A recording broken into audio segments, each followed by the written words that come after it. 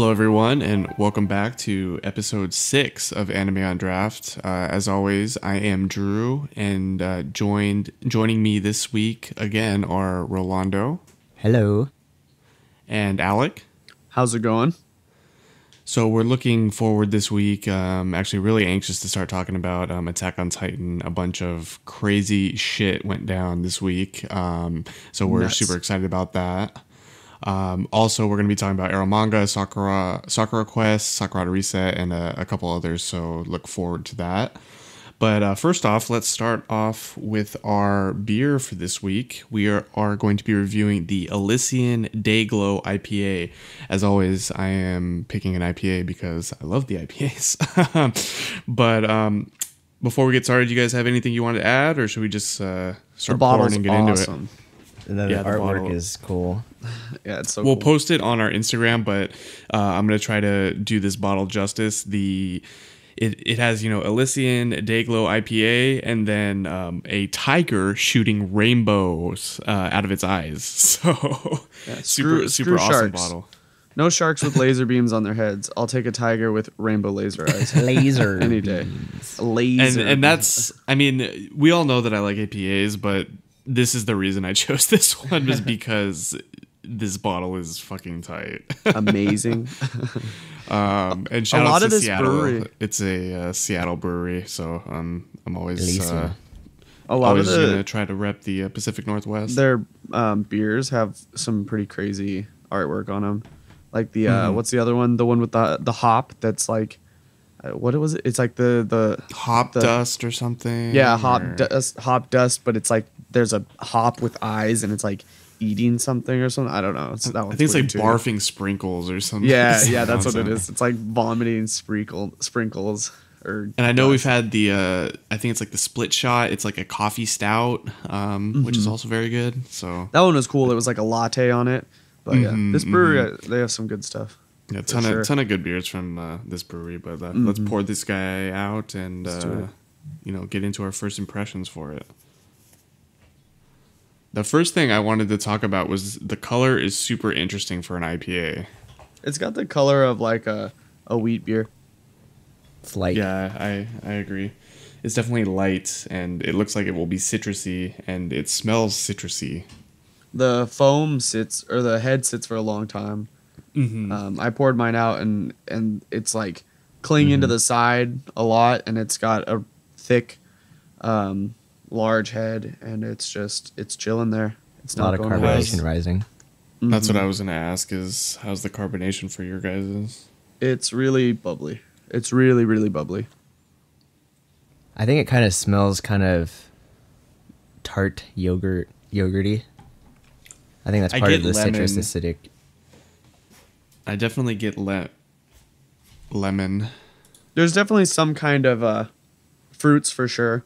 Hmm I get um fruit smells more than I get hops personally. Um, my nose is a little stuffy, but what I the the smell I get from it, it smells like a wheat beer to me. Um, like a wheat beer with fruit and then hops. It, it just it doesn't uh smell like a typical IPA to me for whatever reason. Yeah, it's I mean, not as I have bad allergies, but I think you could garnish this even with like some sort of fruit, like an orange or something like that, and it would it would be it would be pineapple would be good. Yeah, pineapple would be actually really good. I'm imagining like what it would taste like just judging from the smell, and like I feel like it wouldn't be very hoppy. But that's just That's what I'm thinking too. from Well, from smell. sorry to uh, burst your bubble, but I tasted it and it's very hoppy. I'm gonna go ahead and sip this. Yeah. It it's not like when you first drink it, it's not at at first like hoppy, but like the aftertaste is hops like punches you right in the face. Yeah, we've talked about that like that feeling in the back of your mouth where it like lingers the bitterness of the hops and stuff like that. It definitely has that, but super super drinkable for for what it is. Um, it's it's a lot lighter. Uh, like we said, I mean, even the color is lighter, but it's lighter and very drinkable for me. I actually really Yeah. like this. It's actually pretty good. I like this better than the um. What's it called? Double fucking IPA. the double fucking IPA. Yeah, that Yeah. this is really good. Um, This is probably one of the best IPAs I've had. it comes out real smooth. Like when you first drink it, it comes in real smooth, kind of like you would expect from like the smell. It doesn't smell like it's gonna really hit you with bitter straight out of the gate. Um, you kind of get that. I get like, I don't know, kind of wheat malt at first with fruitiness, I guess, and then the hops come in right after, like you guys were saying, and it just it sticks in the back of your mouth. But for me, it's not that hoppy. It's like I would actually, I'm gonna like probably get another one after I finish this one, and I don't normally say that about IPAs. They've got to be it's more crisp than anything. Like it's very mm-hmm. clean for an mm-hmm. IPA, and it, it almost doesn't even remind me of an IPA. It, it reminds me more of a, a wheat a wheat style beer. Mm-hmm. Um, but the aftertaste is what it's like. Oh, this is an actual IPA. Yeah. This is you know why it's. you know what shocks this. me is I'm looking at this and it's just I, I don't know if it's the same for you guys, but the bubbles are just like just going Yeah, up they're the going entire. And then when you drink it, I don't really feel the carbonation. It doesn't Mm-hmm. like hit my mouth like the the beer we had um, or the was it the sour one of I think it was the sour last week. It, you can really The you really yeah. could feel the uh, carbonation, you know, on your tongue. I don't get that with this one, which is you know kind of shocking given how many like how many bubbles are coming out of Mm-hmm. mine. It's very smooth. Mm-hmm.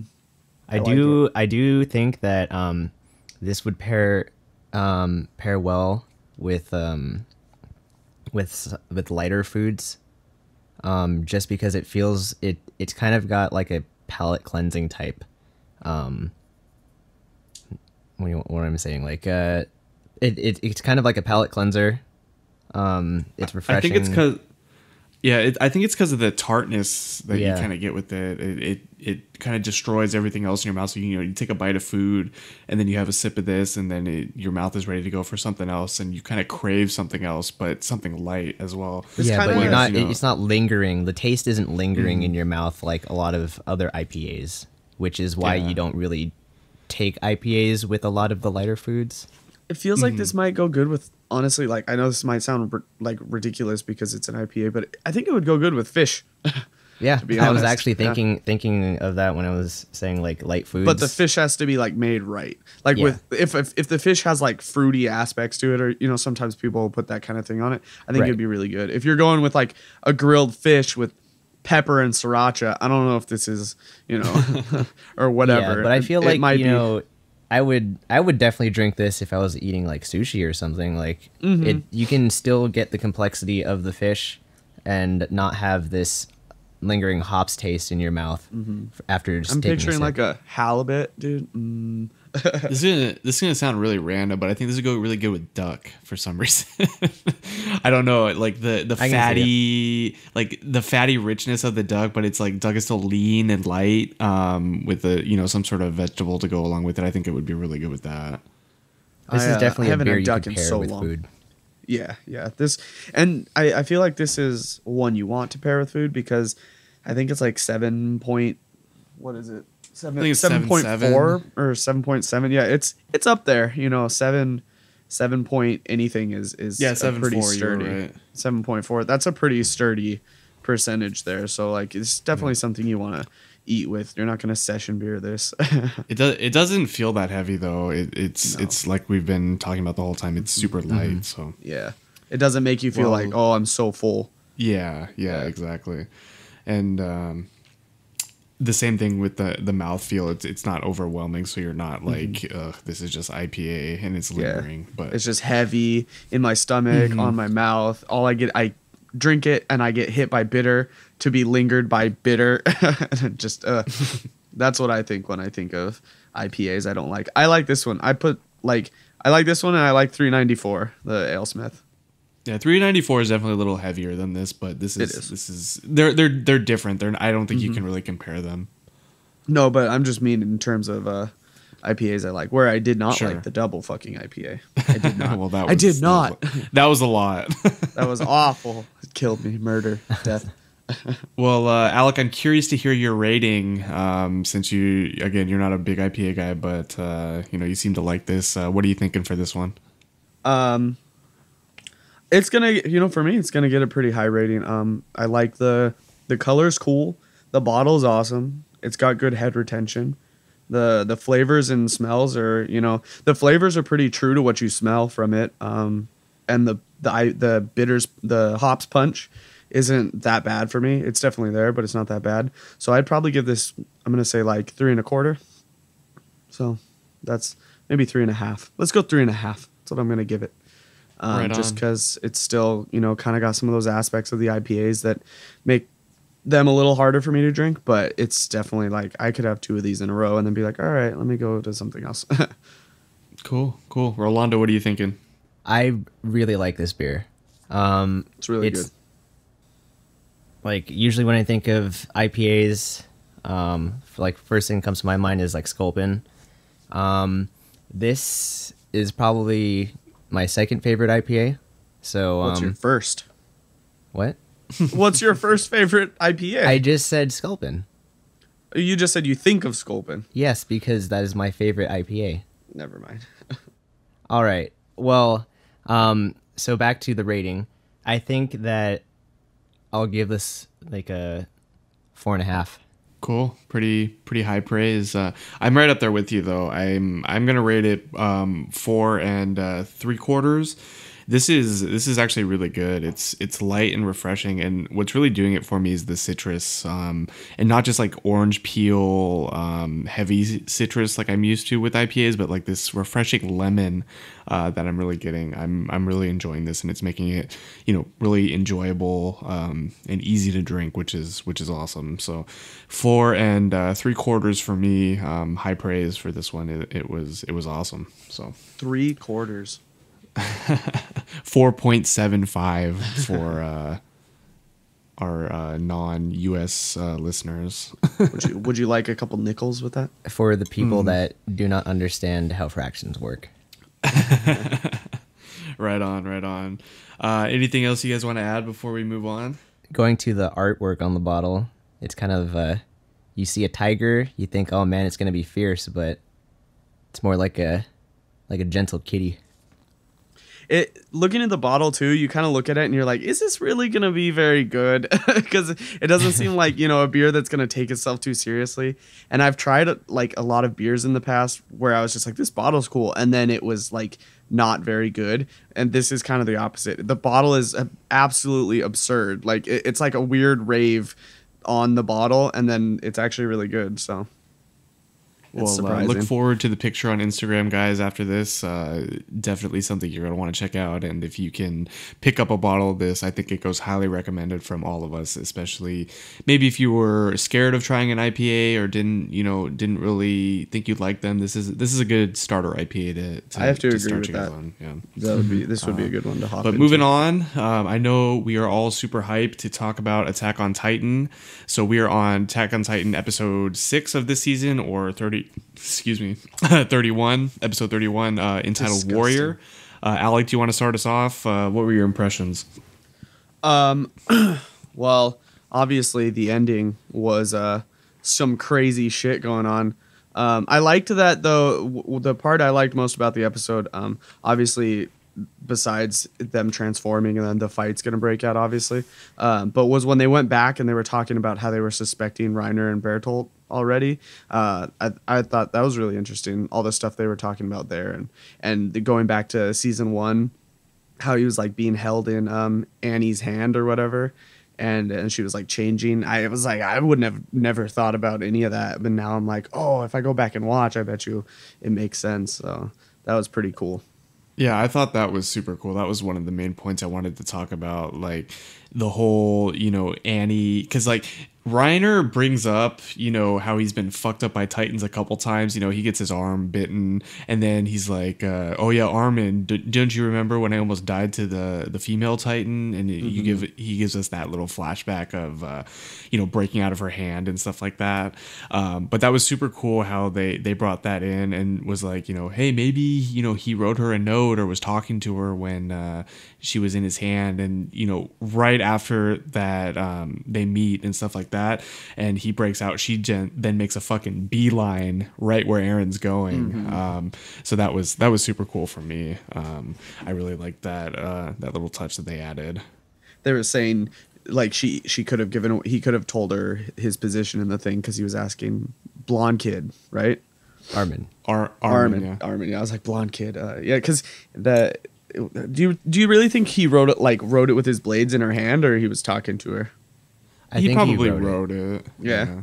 Otherwise, they probably would have heard him because he'd have to probably True. yell. I think to Yeah, for her to over here to hear it. all the noise that I'm Yeah. sure was going on. hmm Um, I think it was uh, like g- going back and finding out that that's what really happened was kind of like a huge like trip. But uh, I thought what was interesting is like remembering back to actually what happened in those episodes back in season one, is they they purposely told that group um, where Eren wasn't, because like there was I believe they believe there were like some sort of suspicion going going on because there was like the female Titan, right? And so like yeah, and they they they mentioned that too back in season one. They're like, we're spreading this miscommunication because we can't trust anybody, basically. right. And so it's kind of weird how that like that was actually just the like the group that they told was like, oh, he's going here, and then all of a sudden like um, that's where Annie attacked from. It's like, oh shit, now we know that their plan there like actually fished out the the suspicious people. Mm-hmm. It just took a while. Every everything's coming coming kind of full circle a little bit.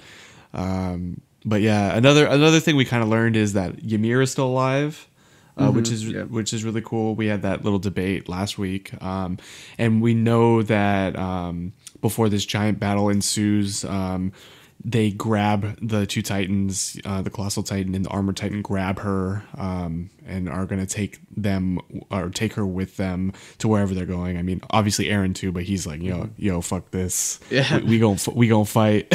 she was like getting blown off the wall when they were transforming, and they caught her and were holding on to her. So I'm curious what they're gonna do with her because of that flashback where they saw her like eat their friend, Yeah. or, or whatever. So I'm curious, like if they have if she's grouped with them and she's bringing them back to to you know I don't think she, I don't they're think grouped with them because uh, they were so surprised when they saw her transform, and especially by what she transformed into, and then giving us that flashback. So yeah, I was interesting to gonna. I was gonna ask, how do you think that ties in? Do you think that she is involved with them, or that she's maybe like a one-off group, and they're gonna bring her back to the main group and say like, hey, this bitch is a titan. How the fuck did this happen? What do you guys think about that? I don't think she's part of that group. Um, so like we've already had our suspicions that the hybrids are not necessarily working together, and I think that she is probably part of some sort of group that is related to the church, Um, okay. because we do see that she is from the from inside the walls, I believe. Um, I'm not completely certain that she is, but like that's just kind of what it seems like from the previous episode. I think she is because she was saying when when they showed her hiding in the church and listening to the guys talking about the girl, I about um Krista. uh, I feel like that had to be from in the walls because if Krista's royalty, then you know the two church dudes would be talking about her, Right. maybe in a you know in an inner area. What's so. uh what's interesting too is we know that Reinhardt Reiner I keep calling fucking Reinhardt. Ryan, yeah. I was doing that earlier. Reiner, Bertolt, and Annie are all from the same region, and we get that from that note that Sasha um, brought to the uh, scouts before they, you know, went off to Trost. about her their Uh, background check or whatever. Yeah, yeah, and and then it's like you know everybody's kind of thinking you know like well Annie didn't talk much anyway, but you know Reiner and Bertolt are kind of always together, and Reinhardt is like this big brother figure for everybody.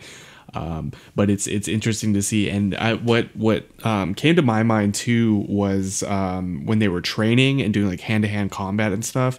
Um, the interaction between Reiner and Annie when they, you know, Annie, you know, flips him over and beats the shit out of him, kind of, and fucks him up, but like Kicks and his ass. yeah, and she's like, you know, my dad taught me to fight and and all this stuff. It just it reminded me of that scene. Um, do you guys think that's significant or? I mean, I don't re- really remember that scene too much. I just remember it happened. so I, I can't really comment on that. I mean, maybe you could see that scene uh, now after we're learning all this stuff. Maybe that scene, if you know, thinking back on it, it was it, her her goal there was to try and like differentiate herself from Reiner to maybe reduce Sure. suspicions on her. If like all three of them are buddy buddy, then if one of them's suspicious, uh, you know, I don't know, maybe something like that. But I don't. Do you know. think maybe they they could be like passing on information in between each other during that scene or anything like that, or is it just like kind of what you said, the differentiation or trying to separate each other? weren't they surrounded by people at the time? Yeah, I mean, the, with all the 104, everybody who was you know training with them. It would probably be kind of hard to like pass off information Yeah. or anything like that. Um, I personally, I think if there's like meaning in it, it's like her trying to make sure that they don't they're not seeing her as like oh they're friends. They you know they're all suspicious. She's like doing her her own thing or whatever and trying to make you know because then she was like he was he gave her the message or whatever, but no one would suspect that he was like if they find out it's Annie. It took them a while to suspect him because it didn't seem like they were buddies. Probably because she was kicking his ass. Yeah, It also probably Or just shows her actual like Skill. combat skill, um, like how much better she is at fighting than he is. Because like Yeah. at the end, he does talk about how like he's a warrior, and uh, like At the, the reason why he current does is to fight and stuff. yeah. Yeah. Uh, And then he one other thing I wanted to bring up too before we uh, before we move on, how do you think the Titans got into the wall? I mean, we see Hans and he's he shows up Hans, um, but he shows up and is is like, there's no hole in the wall, guys. Like, how the hell are, are there Titans in here? So what what do you what are your guys' impressions on that? Well, I, I mean, it could just be that like um, what's his name, Connie's mom transformed. Maybe it's some sort of like epidemic. It's Titan disease, dude. It's like elephantitis, but you get like super buff, and it's called Titan phinitis. I don't know, dude. Yeah. but like a lot of hybrids are probably roaming around in there as well. So Yeah, I'm pretty sure there's a there's a lot more to it than the people actually understand. So mm-hmm. I'm sure there's some sort of group of people that are within the walls that either are like Eren and have no idea they can transform, or are like Ymir and can transform, and it has something to do with like maybe the church and like the mm-hmm. nobility and all that. and there's somebody who knows uh, it in as we go in the wall they're gonna find people who like know about this stuff and and i'm curious Do to find more people who can understand the writing like ymir mm-hmm. so mm-hmm. what what and what do you think the with that? Beast Titan has anything to do with it? Do you think he plays like a significant role in these guys appearing? Mm, I mean, we didn't we didn't really see him much this episode. It, we didn't see him at all. We know he's running around like a madman, throwing horses and shit. Like, but um, do you think he you see, plays? that's where I'm confused. So like, I'm not really sure where, like, what his motives are because he doesn't seem like. It doesn't seem like. Ymir knows what the heck that guy is, and it doesn't seem like neither neither Reiner nor Bertolt know, like what that mm-hmm. dude is. So like, mm-hmm. it could just be a whole, a whole different other group, um, that's somehow related to the origin of Titans, I guess. Mm-hmm. yeah, yeah. and i'm not sure if he's a hybrid or not i was thinking maybe he's like an important dude but what he was saying about how the the scout weapon is curious or, or whatever it doesn't sound like something if he were let's say he's an important you know royal person they would know He's what the scout weapon had- looked like Yeah, he's had to have had like minimum human interaction to not know what Mm-hmm. like the main weapons they use to you know fight titans are. So Yeah, even like random people who are like you know um I, I was gonna say pedestrians, but like civilians or whatever. They're they're like oh that's they know the weapon, you know, and they're not Yeah. hanging out with them every day. So yeah, So uh, one one thing I wanted to to mention about this episode was, you know, when Reiner starts talking to Eren, and like basically just says, "Hey, I'm the I'm the armored titan, and Bertolt's the colossal titan." Um, You just like see like Eren's Mm-hmm. expression, eyes. but in the fucking back, you just see Mikasa's fucking face, Yeah. and she looks like she's like, "That's the look of someone that's about to fucking kill." S- Like kill you, like she looked like she was gonna yeah. fucking kill Reiner. It's just like, just like oh right there, God. yeah. Well, she she did try. I mean, she put she slashed Bertolt's throat and cut off Reiner's arm. So Mm-hmm. I mean, she she tried her best. And then um Bertolt didn't even fully transform. He's like a rib cage grabbing the wall. He and then he- a torso. There's two things I, I think about that. One is he knows about the Titans in the wall and doesn't want to destroy the wall. Because I think if he transformed fully, he would have fucked up that wall. And it's like, well, that's I mean that might be his motive too, but that was one thing I was thinking of. The second thing I can think of is he needs a lot of fucking energy to transform because he is a huge motherfucker. Yeah, he's When, the huge uh, tall guy that broke Yeah. that was The in first the first wall, episo- yeah. the first episode. Mm-hmm. Mm-hmm, mm-hmm. So either he needs he needs a ton of energy or preparation to transform, or you know he didn't want to destroy the wall completely. Those are my two kind of theories there. But you're right, he didn't fully transform. He's got like his rib cage stuck into the wall, like Alex said, and like most of his upper body, but not none of his legs or anything like that. Yeah, you you might be right now that you're saying he doesn't want to break the wall because they didn't break a wall originally either. They busted a gate, which was um, sectioned off, and the the only part of uh, any wall that got broken was where you know there was the the hole with the the guy peeking through, like yo, what's up, boys?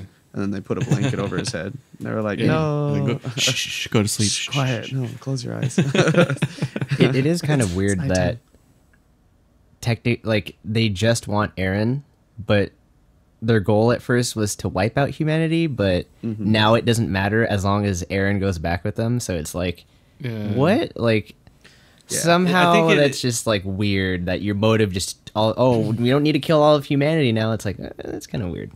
That doesn't Maybe make any they they either have ties with the dad or they want to get the dad and they can use him as collateral, something along those lines. Um, who knows? You know. yeah, like they need his dad to do some to do Right. something or whatever. I mean, he obviously to wipe knows out something. humanity. We have we have this injection that Eren gets, and now he can be a Titan. So it's maybe like, oh, that's super important. You know, who who Right. who really knows? Maybe he is leading that that group because Reinhardt or Rein, goddamn Reiner, swing your hammer, swing your hammer, Reinhard, go! Reinhardt, charge. Because Reiner, when he was like talking about how he's like, "Am I going crazy? You know, I've been screwed over," and he was saying, "If I just like, if I had been, I can't remember exactly what he said, but it was basically like, if I hadn't done that that day, then I wouldn't be." Like this you know half-ass thing that I am now. So it was like did he get an injection like Eren as well and now he that's why he can transform and so is his dad Eren's dad like leaving leading their group or you know I don't know. Well, we don't even know if the injection makes people Titans. That's true. Maybe it was just like a bunch of vitamins. Like Eren, you need you need vitamins. You're No, malnourished. like no, it was take this. steroids. It was roids. I'm actually kind it's of like you wondering need if, to get big. if uh, what Reiner was saying was actually like if he actually thinks that his time spent within the walls is turned him into someone that was half-assed as compared to someone that had conviction back when they first broke down the broke open the wall five years ago. Well, and maybe maybe he has sympathy for the people or uh, humanity now because maybe he grew up outside Yeah. the walls and didn't know any better. But now that he's interacted with humanity, he's like, these people aren't that bad. Like He's we like- probably can He use it as a with each other. Ninety percent of has these people aren't bad. The Royals Well, I mean, he wants- suck, but he he wants to marry Krista. I mean, that's Yeah. that's a big plot point, right? Like, um, but I mean, in all seriousness, he- you know, he he has sympathy maybe for these people now. At least his friends in the hundred and fourth, because I mean, like they said, everyone sees him as this big brother, this like nurturing role. Um, so he he you know he sees them as as not as bad as maybe when he had minimum human interaction. So. and when he transformed, he didn't immediately just go to like kill people. He grabbed Eren and jumped off the wall. And then even um Bertolt, when he's the colossal one, he reaches over everyone and catches Ymir. And it, I mean, like maybe in the next episode they're gonna start trying to punch people, but as of right now, it didn't look like he transformed and then you know started swiping at people. So Right. um, maybe you know that what you're saying about the you guys are saying about the if OP art means anything though is we see those two um, fighting against the scouts like uh, Bertolt destroyed a mountain and is throwing rocks at people and Mm-hmm. then Eren is fighting the uh, the armored titan so you know who knows Maybe he gets his uh, conviction back and he's like, nah, screw you guys. I'm going to kill you. It's like, I wasn't gonna because I liked you, but now I don't. Right. So die. well cool um, a lot of a lot of good conversation out of this episode uh, but Mm-hmm. uh, we do have to move on um, any final quick words that uh, you guys want to put in before uh, we go Next episode's going to be awesome. I think so it. too I really do Fight, Yeah. fight, fight. Yeah, dude. I want to see the fight. I'm excited for the fight. Yeah, it's it's Get some good action. Uh. I'm curious. I'm curious to see too, uh, real quick, if um, if Eren has any more control over his Titan because we haven't seen him transform this season, Mm-hmm. uh, and he was doing a lot of training with the scouts and stuff like that. So it'll be interesting to see if he gains any more powers or um, more control over uh, his transformation. So looking. All they showed is uh, in the preview, he charges at Reiner. He gets punched in the face and knocked back. So his Yeah. face is like missing skin and stuff. Not not very different from if they were hand to hand combat training. Yeah, right exactly well cool awesome um, looking forward to next week's for sure um, moving on though let's talk about uh, sakura quest did uh, this week's episode the uh, budding of yggdrasil uh, trigger you guys as much as it did last week No, No. not at all. Not at all. last last week was a fluke. Last week. oh my! Uh, just thinking about it. Anyways, anyways, I digress. Probably because we didn't see that dude as much, and then when he did this, we did see him, he was actually slightly thankful. yeah he was slightly Um, thankful, slightly better. The one uh, motif that I uh, wanted to mention, um, we talked a little bit about it before about the uh, the naming conventions of the different episodes of Norse mythology and different things like that. But um, this episode again, the budding of Yggdrasil, um, and we kind of see it through this episode. We have new life or new beginning for this town. We're starting to, you know, with the girls um, gain a new viable option for promoting this town, and this is just the beginning, the start. Um, Do you guys agree or? Yeah, I think so. I think that you you could see it that way. It's like a new uh, a new thing for a lot of people because you also see the IT girl. She's kind of like got you know new vigor into into her job or whatever. So it's like all around kind of that feel. and and I think we talk about it every week, but the juxtaposition of old versus new. Um, I think now we've finally given up a lot of the old. We're giving up the ca- the old castle, the Chupacabra castle or whatever, and we're moving it, you know, to um, the train station, which is like the hub or the entranceway of uh, of the town, where you know. They mentioned it multiple times where everybody enters the town through here. This is the portal to the town. This is where we want to make, you know, our biggest impact on new people coming here. Um, so again, we get rid of that old, the chupacabra, the stupidness of that, and we get this new where we're celebrating, you know, culture. We're celebrating different art. We're celebrating a ton of different things about this town that is uh, super important to everybody. Yeah, tying tying into that with the old and new theme. Um, in this specific episode, it's like this the new generation learning from the old.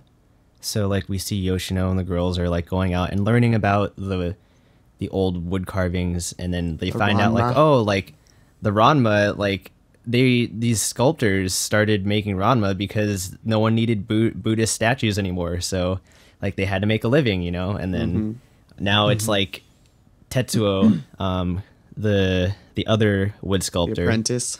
the um, guy, he's like, um, "Hey, I'm gonna make these wooden shoes," and he's like trying to get Sanae to like help help him out because he, he's not like a big women's fashion Yeah. expert. So He, he's Right. trying to make women's shoes, and he's a Yeah. he's a single male, right? yeah, so like it, he it sh- he's kind of also showing like he's a new generation guy, like learning from what the old generation did, which is like, oh, this isn't viable anymore to make Ranma. Well, I'm gonna you know carve my own path out. And um, I thought it was pretty interesting that like there was this theme of yes, the old out with the old, in with the new, but like they're learning from the old to continue on um, and kind of advance their traditions. and Yeah, there was there's always that big. agree. They're talking about how how they want to keep their traditions and it's a uh, protected art right? The the ranma and all that. But then when uh is talking to the apprentice guy and he's saying he's going to try to make shoes and she said won't it make him mad? And he's like yeah i don't care. This is a job. There's no point in doing this if i can't make a living or something like that. And it was like yeah obviously. Anyways. So I, that made me Um, feel good inside What I was surprised is that he actually we find out, you know, this little bit of backstory. The asshole apprentice was carving this, you know, Ranma for um, an old commission that, you know, his old master was doing, and then the guy who commissioned it when the master died, you know, I don't want it anymore, blah blah blah. I'm surprised he actually agreed to let the girls put it up in the train station. Um, but in the end, you know, we had visitors come in and they saw it like, oh, this is beautiful, Mm-hmm. this is amazing. Um, and he he has this little smirk on his face almost. Uh, you know, they say he, this is the highest form of praise that he's ever given. Um, He said it, it's okay or something like that. Yeah. and and he was accepting of it, which which was good. Mm-hmm. Um, and you know, he's not screaming at him. Do you know what wood this is? Do you know you guys are fucking assholes? It's like No, no, like, Yoshino does now. she does Now know. she She, does. yeah, she does now know what the wood is. So that's Oh, that's judging by it, it looks like uh, this type of tree. It looks like it was probably this big and this old. Oh, did you know that? Oh, I bet you didn't. You should stop carving. You don't know anything about this. You can't be a Ranma man. You can't do this anymore. Get the. He's like, fuck. I'm leaving. I'm sorry. Um, one thing I wanted to mention too was uh, we got Sandal-san, our uh, traveling bard, Oh, the bard? guy. Yeah. He's actually like a famous yeah, artist. Like Yeah, like a famous vagabond artist. Yeah, so that was that was pretty. He like gets arrested, and they're like, Yeah, "How that did he the get out so far?" He's like, oh, he was he was just hitchhiking. Like, yeah, what the fuck? that was the best, dude. That part was so funny. They're all He's- sitting he's there. a- oh, let's get him to draw something. oh my god, he's getting arrested. so good. That's so good. he he's he's actually one of my favorite characters. He's fucking hilarious. He's ridiculous. And he has one Um, of, part of his name is Cena. John Cena, Whoa. dude. Well, that's that's that's my waifu, guys. John John Cena is your wife? no, Senna from uh, I don't have any friends. oh. Anyway, Yeah, I was going more with the John Cena, but guys, be nice to me. I wish I had the button queued up and it go John Cena. Like, Anyways, the cue the music. yeah. Um, it was pretty. It was pretty cool seeing the closure on that soul searching that Sanae had that began Mm-hmm. last episode, and like you know she's talking about. We talked about last week how she's like, oh, everything I do, I'm, I'm replaceable. Like Yeah. every Well, like my job, anybody else can do it. But Yoshino kind of is just like, um, Yeah, that's the same actually, for everyone. yeah, that's true for everyone, but to an extent, like you yourself bring your own, like a bit of your own individuality to to your job. Your own flair. You will do something differently than someone else, whether like it's still gonna get the job done, but how you go about it is completely different, and that's that's you. That's you putting your Mm-hmm. your own stamp on it, and that's kind of like what they're doing now with their 100 year Sakura Pond Familia plan that they're like Mm-hmm. going to revamp the whole town and make it all like something that everyone can put their stamp on. I like how her I'm original glad- idea was to make the castle a giant wooden castle. I'm like, the amount of trees. I'm just you're, the amount of forest that you're gonna have to destroy. Come on. I the whole time I was they were saying that I'm like, you guys don't have any money. yeah, How are you gonna do this? that is that as well. It needs to be like Sky Tree. It's like, well, you do know that they have money like to put that up in in Tokyo, not in Maruyama. Right. Going back to uh, Sanae real quick too. I'm I'm glad she uh, she didn't run away too because I, I think she's a cool character. Um, Yeah. She brings a, a variety that um, this you know technology and uh, the knowledge of Tokyo to this town. So I'm glad that you know she didn't run away again and she's she's gonna stick it out. She's gonna be the minister of IT still. So that's cool. I like her character too because uh, Mm-hmm. she's kind of got that like her the way the comedy they give her is kind of like sharp and like kind of like you know biting witty as opposed to other other the other characters. Her and uh, her and uh, uh, Ririko are my favorite characters for sure. Yeah, she's definitely like the mature. She's older than than the rest of them, so she's kind of got a bit of the mature personality out of the group. Yeah. Mm-hmm. Well, cool. Um, that kind of wraps up that episode. Anything else you guys want to say, or should we move on? Uh, I'm I'm looking forward to the next one. I think Yeah. that it'll continue. To, Yeah, it's, it's- gotten it's- better as it's gone along. I think It's it's super consistent. It's not like oh my god, this is the best show ever, and it's not like awful. It's it's just very consistently good, which is Enjoyable which is nice, watch. especially for Yeah. this the type of genre that it is, because this genre can be so hit or miss. Yeah. so um, I'm I'm always looking forward to seeing the next episode. It's it's cute. It's fun. It's Yeah. um, it's not boring. There's there's something new. So we kind of get to see now with the the budding of Yggdrasil or whatever you want to call it. We get to see you know. Uh, from there, um, what's going to happen with the town, and now that they've started this process, um, how they move life. forward. Exa- exactly. So, Um, also, the possibly budding of maybe a romantic love triangle between the two wood carvers and Sanae. I don't think we're going to see anything like that, but, but that but that that would be interesting for sure. That would be sure. kind of funny, actually. they fight. They're like, I'm gonna make a better world sculpture for. For yeah, her. I'm gonna sculpt her face. I'll make Ranma. Oh, okay. Right on, right on. Uh, moving on now, let's get into um, our favorite little sister segment of the day, uh, Eromanga Sensei, episode five. Let's plan a light novel with your little sister. Uh, anybody want to start us off? Uh, initial impressions? Uh, what do you guys think? Um, yeah. Um, I the the very first scene in this uh, in this episode triggered me a little bit just because like um we already talked about it last week, but uh Masamune just like basically just screams out that he loves Sagiri, and then she's like, "Uh, you do?" And then he's like, "Yes."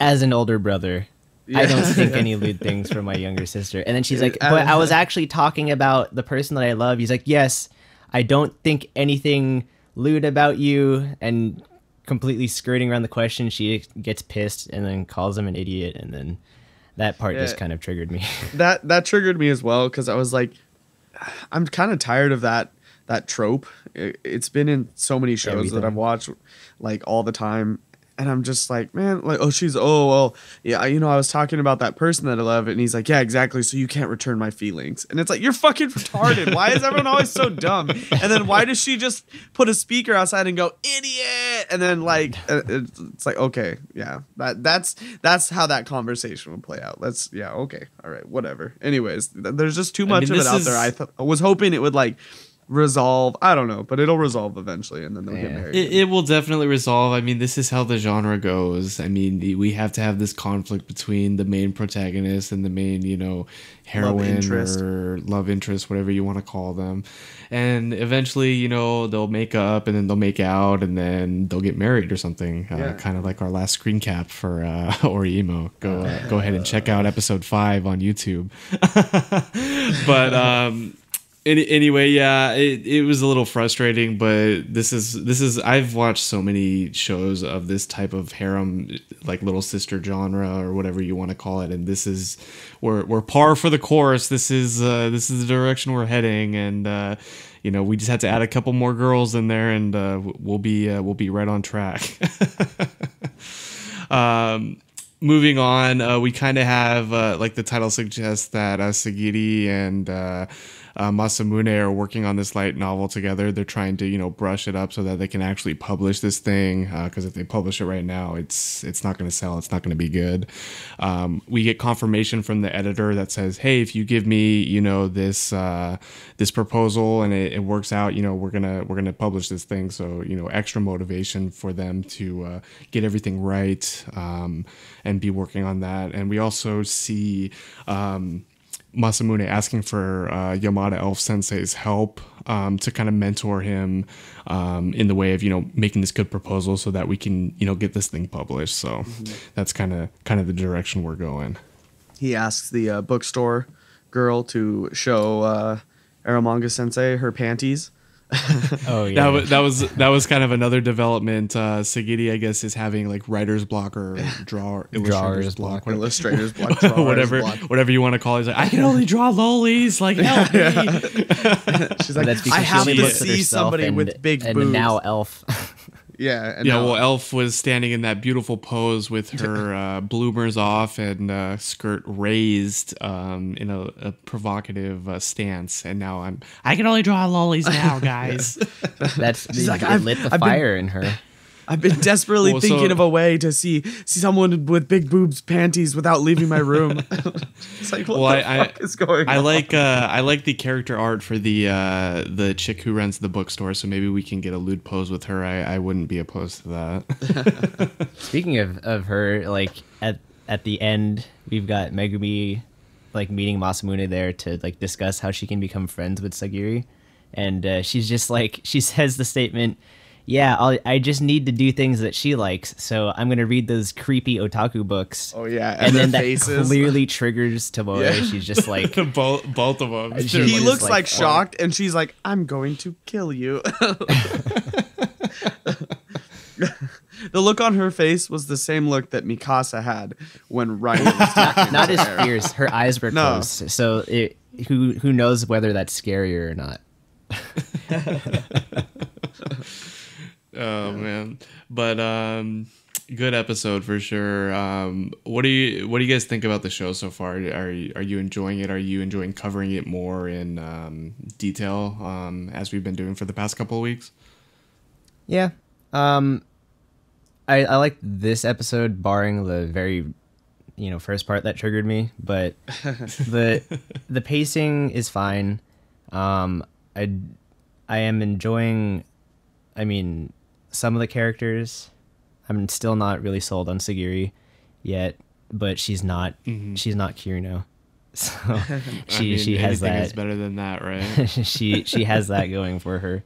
It's right now it's coming off a little cliche at points, but there are ti there are other parts that are like, okay, this is a little different. So like I I can you know get along, get on with it. I think the main character's a little smarter than fucking Smoothskay, that Yeah. fucking bitch. That's for sure. Um, he he seems to have a little bit more sense about him, which is which is refreshing. Um, and the outright denying of the Lotus Sister, whether he sticks to that or not, um, I would be I would welcome that. But again, we're gonna come full He's circle. in and they're denial gonna- himself. They're they're gonna bang or do something. He's in denial. so. Alec, any impre- last impressions? Um, no, I think it's uh it's kept up from the first episode, kind of um, entertaining. You know, it hasn't really fallen off. So, I'm you know I'm gonna keep watching it. Looking forward to the next episode. Awesome, awesome. Well, let's uh, go on to our next show, uh, Sakurada Reset. I know you guys mentioned you didn't really have much to say about it. Um, do you want to throw in your couple pieces? Um, Alec, you had I mean, opinions about it.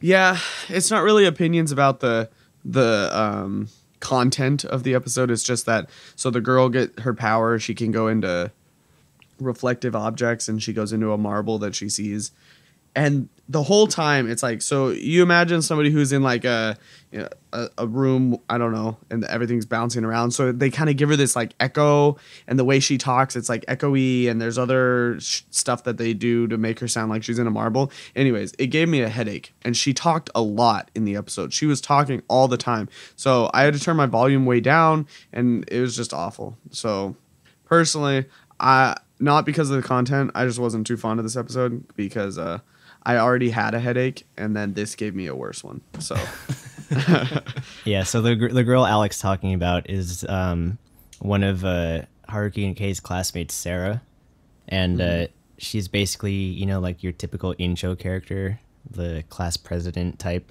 like st- stuck to her morals kind of deal. And in she's fact, got to find pure objects. yeah, in fact, her her middle school classmates used to call her student monitor.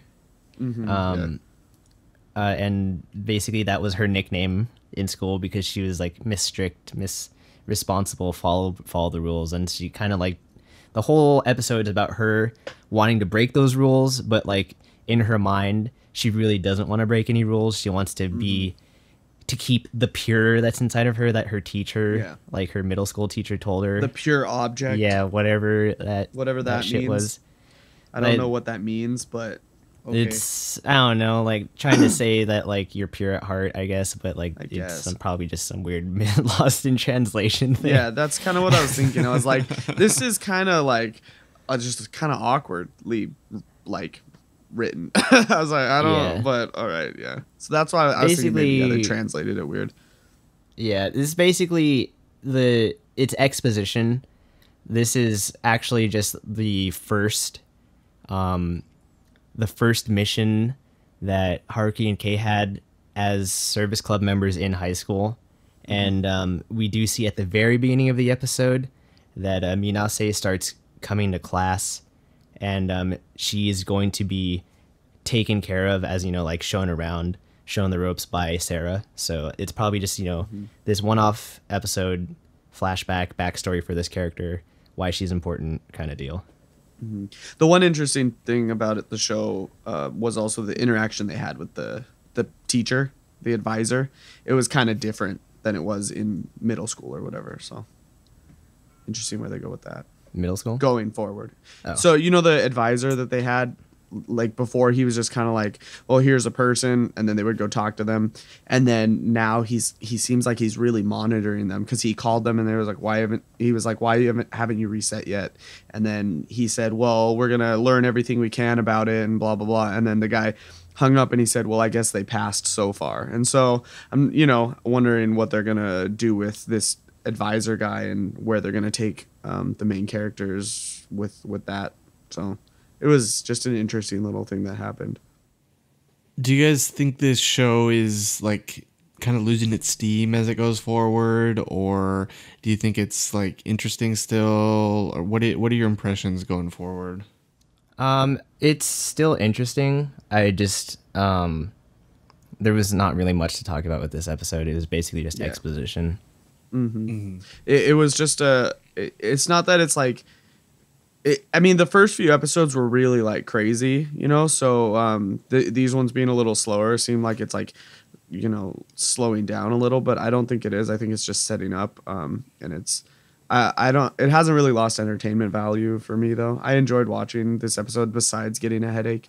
Um, because it kind of got me thinking, oh, well, you know, if this one was kind of slow, how crazy is the next episode going to be, or something like that. So, Cool. I'm gonna continue Well, watching. uh, sounds good. Um, those are our main topics this week in our pairing. Um, moving on towards our happy hour. I know I wanted to talk about uh, Renai Boukun for a little bit, so I'll start us off here. Um, kind of a quirky episode. Um, the couple of things that I wanted to point out um, was uh, the all the girls that are like quote related um akane yuzu and the the new girl um with the uh the pink hair and Her the creepy eyelashes. Sh- Shiki something. I, I can't remember her. I name. don't remember her name But um, they all have like powers, and they didn't really elaborate on it too much. But I, I guess that's the thing to look look at is like every single one of them has a power, and Akane for whatever reason. Excuse me, uh, gave up her power, um, or it's weakened, and then you know, Bubblegum Girl has bubblegum. It's not really bubblegum, but it's like I don't know what it is. It's, It's like sticky, pink goop. st- Yeah. sticky pink shit Yeah. that can trap people and then uh, yuzu has like that barrier power so Mm-hmm. I, they're all related in some way i guess so that's kind of interesting um, so they're kind of they're kind of switching it up um, giving it some sort of theme to follow or storyline to follow whatever you want to call it um, which was kind of interesting but uh, the other thing i wanted to talk about was uh, guri's dad is god um, and we meet god and satan and uh, they're both like drunks and stupid. But it was it, it was pretty funny a pretty comical scene. They kill they kill the main protagonist and like hey come up to heaven and uh, let's chill.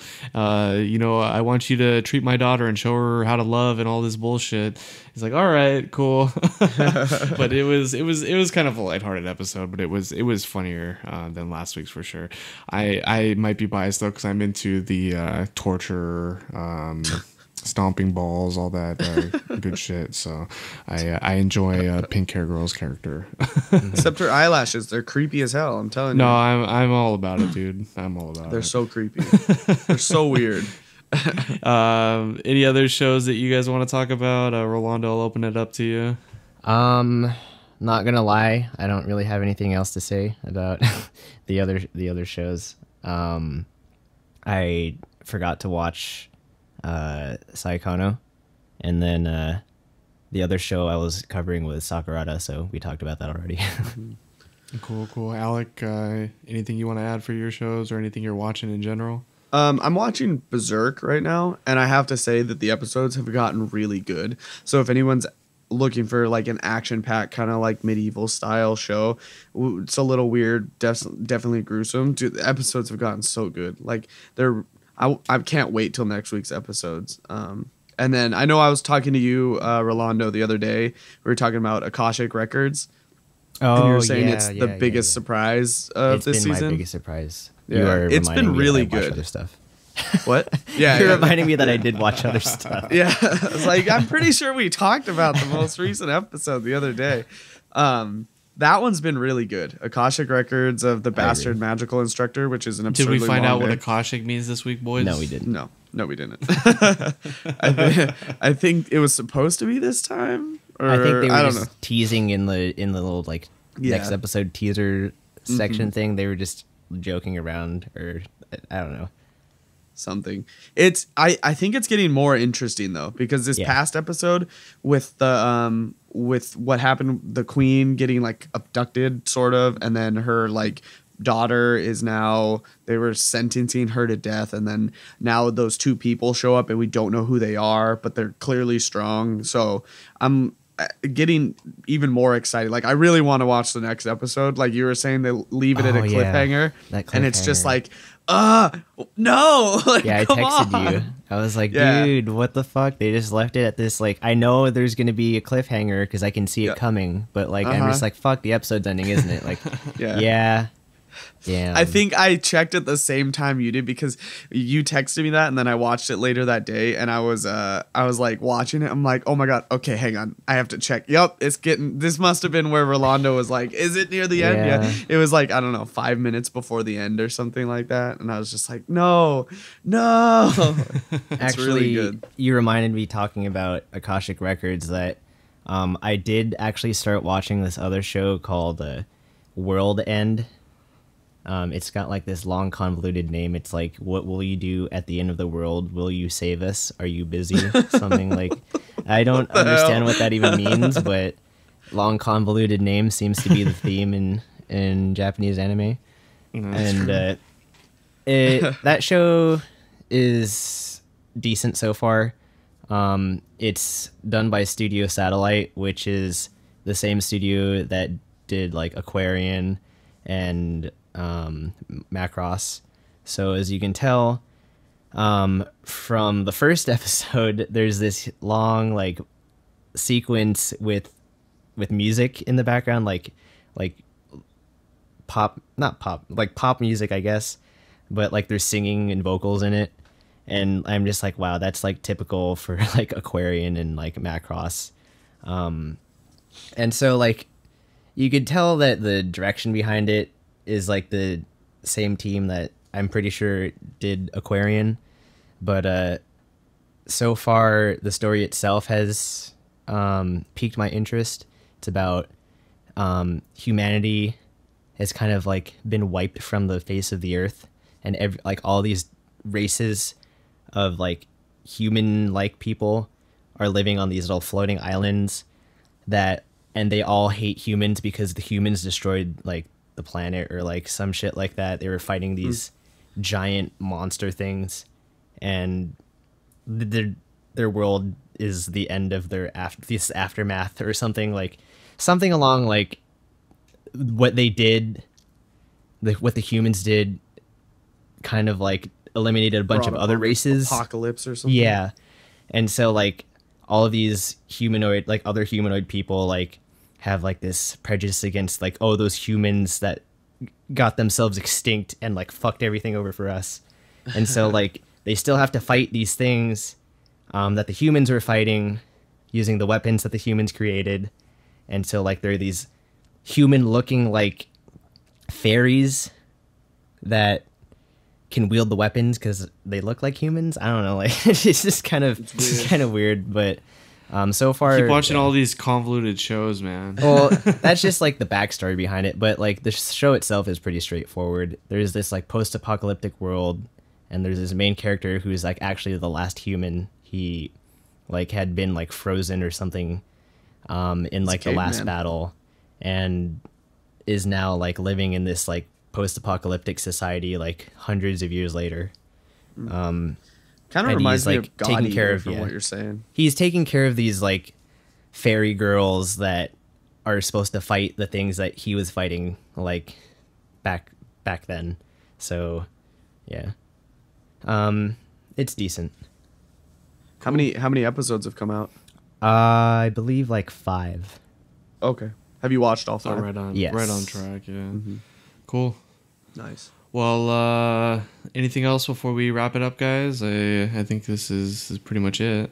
i think that's all i Um, watched Now, the other, the only other Cool. show that uh, I'm supposed to talk about, Swords or Sword Oratoria, it's been pretty good actually. Um, I thought it was gonna kind of keep going along as this weird like side story, but the what they're adding into it with the kind of intrigue of these weird monsters has been really interesting. So, uh, you guys, have you been checking it out? If not, i need to definitely catch watch up it. no it's yeah, I been need pretty to cool. catch up on it. Yeah. I, it's been I've been liking it. So um, Yeah. you know, I would uh, check them out, and if you don't like the way it is by now, then I would say drop it. but yeah, that's it. Cool. Well, uh, that's it for us, guys. Um, you know, thanks for joining us for this week's episode. Um, if you like what you heard, feel free to uh, head on over to animeondraft.wordpress.com. That's going to direct you to kind of all of our social media and uh, links that we have there, as well as links to all the episodes, um, not only this week's, but previous uh, weeks as well. So check us out on Twitter, uh, iTunes, SoundCloud, Instagram, all that good stuff. Make sure you check out the uh, Elysian Dayglow IPA with that awesome fucking uh, bottle art. Um, check out that tiger. He's he's Laser pretty dope. Tiger. Shoot best. lasers, eye lasers. It's literally And, the uh, best. and uh, make sure uh, we've gone through you know a couple different weeks with uh, all our hosts. So uh, if you liked one host more than the other you know drop us a, a uh, an email on the uh, wordpress and uh, we can figure out you know what we're going to do moving forward. I think the plan now is to uh, you know go kind of how we did. Is, yeah, you know r- rotate and move it back. But if you guys have any suggestions on that, feel free to let us know on the WordPress or Twitter, wherever. Um, In our but other than that, media. uh, you know, it's it's it's been a lot of fun. Six weeks down so far. Uh, Mm-hmm. I think uh, we're all enjoying it. Uh, hope you guys are too. But uh, again, check us out, and uh, we appreciate all the support. Thank you very much. Say goodbye, Thank guys. uh, you. See ya. See you later.